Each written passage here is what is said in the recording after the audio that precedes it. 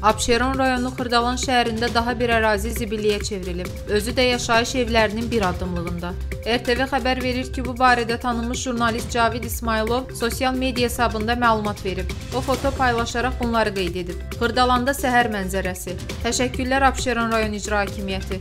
Zibil maşınının sürücüsünü işdən çıxarmağa tələsməyin. Sual budur. Dünyada və ölkəmizdə pandemiya təhlükəsinin davam etdiyi bir şəraitdə yaşayış binasının və poçt şöbəsinin qarşısında zibil qutularının nə işi var?